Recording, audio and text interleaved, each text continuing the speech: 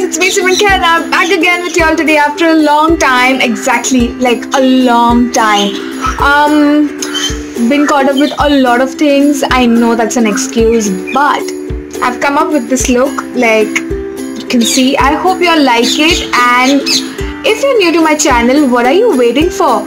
Go subscribe to my channel, hit the bell button, and then get back to the video to continue with it. Okay, so before anything else, let's just begin.